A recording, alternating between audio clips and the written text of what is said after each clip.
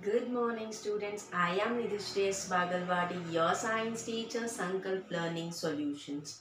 In the last class, we learned regarding the resistance. We learned regarding what is resistivity. Today, we are going to solve certain numericals on the resistance and the resistivity. Then we are going to continue the concept, concept of resistance. Right. So, I took, I selected two problems here. One problem is from the textbook itself okay in textbook problem the other problem is from NCERT exercise problem. Like this you will get this numericals and you will be getting more challenging numericals which we will be discussing in our revision classes right? So to join my revision class subscribe to sankalp learning solutions in yt that is on youtube. Okay um resistance of a metal. The first one is resistance of a metal wire of length 1 meter is 26 ohm at 20 degrees celsius. If the diameter of a wire is 0.3 millimeter what will be the resistivity? So they asked us resistivity or a rho. Okay? So let us write what is given first. What is given here? The length is given. The length of the wire is given as uh, 1 meter and the resistance is given as 26 ohm. So let us write what is given.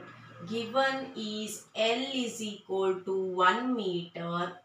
Then we have 26 ohm means it is resistance. R is equal to 26 ohm.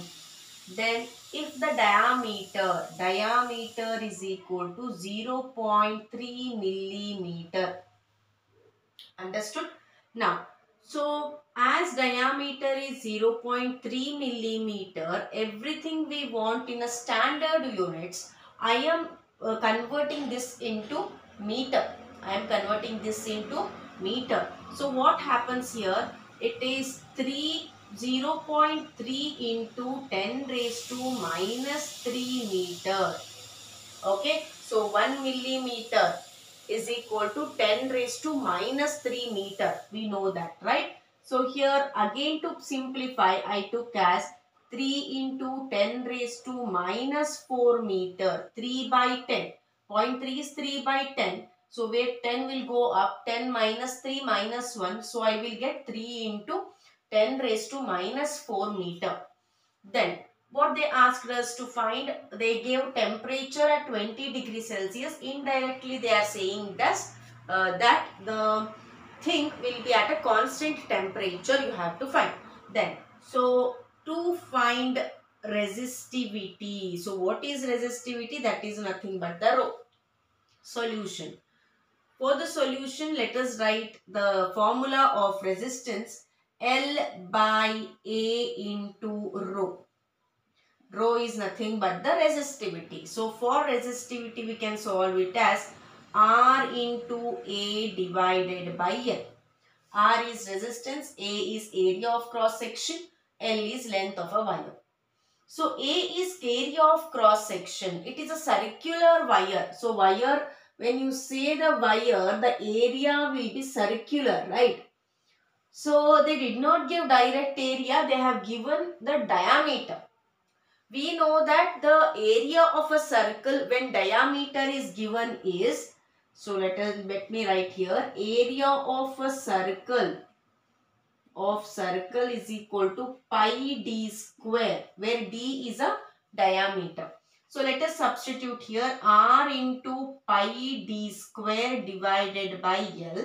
So r is given as 26 Pi is nothing but 3.14. We know this.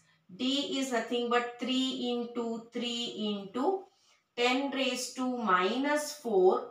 Let me write like this. It is not the correct way. 3 into 10 raised to minus 4. 3 into 10 raised to minus 4 that is D square divided by L is nothing but 1.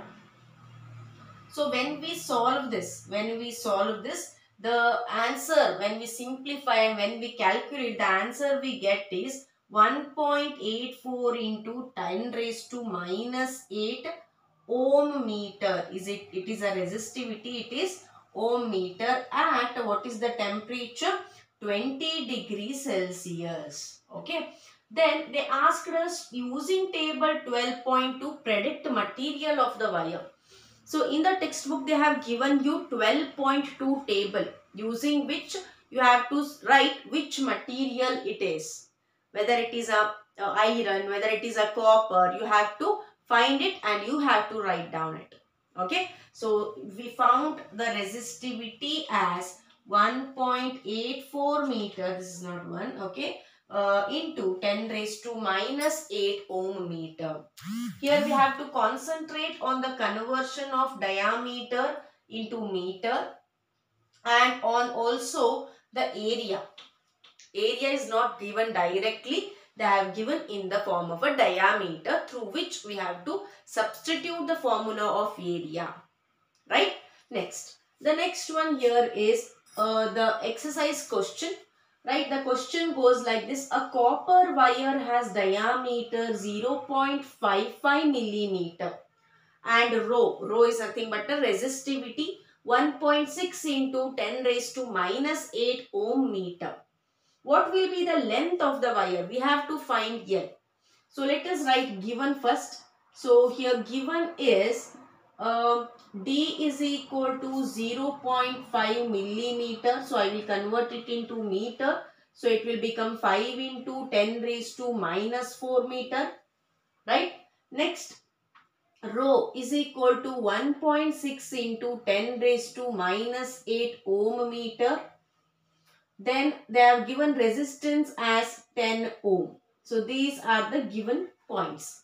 What we have to find? We have to find L. To find L. So here first we will take the resistance formula R is equal to length divided by cross sectional area into rho or you can write rho first. So we want for L. So let us solve for L. L is equal to R will be here only A will go this side.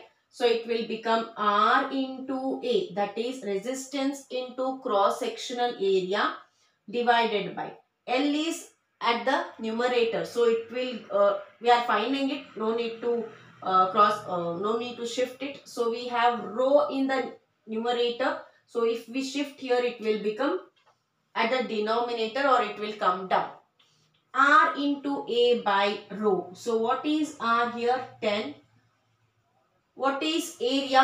Area is not given. So we will take it as pi d square. Pi is 3.14 we know it. So 3.14 into 5. Let me write here. It is not. Yeah. 10 into. Okay. A is pi d square.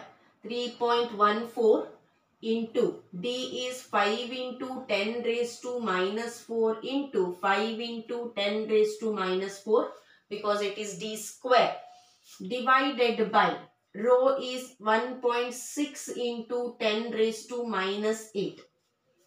Okay, so when we take 5 into 10 raised to minus 4, 5 into 10 raised to minus 4, it will become 10 raised to minus 8. This one, this one, this one will get cancelled. So when you simplify it, it will come around 1.22 into 10 raised to 2 meter. Okay. 1.22 into 10 raised to 2 meter. Again, when you simplify it, it will become 122 meter. So, length of the copper wire which is taken will be 122 meter. So, here we should write R into pi d square divided by rho. So this is regarding how we have to solve the numerical problems in a step-by-step -step method. First we have to write the given, then you have to write what if you have to find, then you have to write the uh, suitable formula, then solve for the value. When you simplify, if you write the simplest answer, simplified answer, then it will be good because most of the key answer will be simplified. Or if you don't write the simplified form only if you write this this will be also correct. Okay? So in the next session we are going to learn a lot about the resistance and the resistors. How these resistors are connected. Okay? Whether only one resistor is enough to control the current uh, or no. What is the combination So that all we are going to discuss in the upcoming session. It is a very important concept and you will get most applied questions on it. So don't miss that session. Take care. Until that, have a nice day. Bye-bye.